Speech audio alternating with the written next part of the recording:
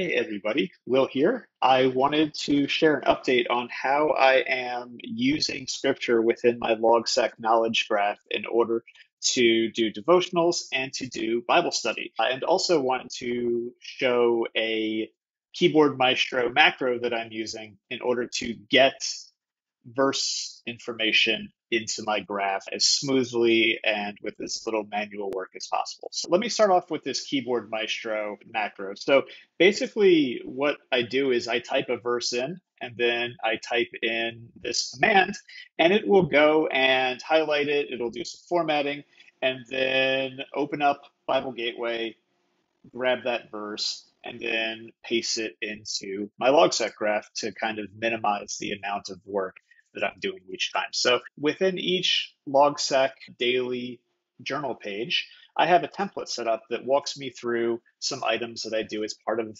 my morning routine, my spiritual routine in the morning. So today's verse of the day from YouVersion is something that I wanted to throw into my graph. So the first thing I do is I hold shift and I click Bible. And you'll see this Bible page that I loaded up and I have a section for the Old Testament, New Testament, and then one chapter for each book. So today's verse of the day is from Isaiah 54, verse 10. So I type that verse in. I type in slash BG to kick off my keyboard maestro macro, and it goes ahead, grabs that verse, copies it, pastes it, and now I have this verse in my graph. Okay, so once I do that, I then embed this block that I've just created into my daily graph. So to do that, I hold Option, and then I just drag it over. And just like that, I have this verse embedded into my graph, and I can start making a devotional around it. Okay, just some filler there.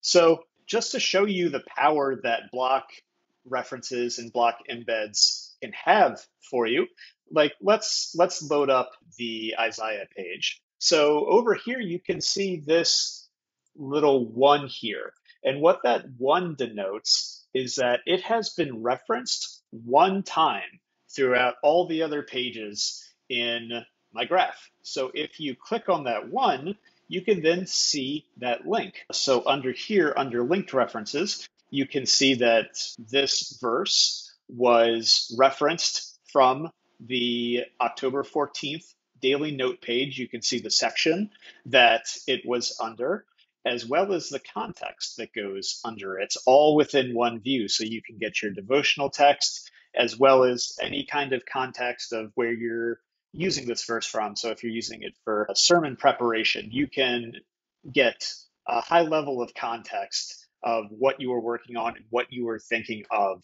at that time in order to help kick your brain off. I hope that this uh, demonstration has been helpful for you. I'm really excited to get this keyboard Maestro macro uploaded so that you can use it to help use in your own devotional and spiritual practices. Thanks so much for watching.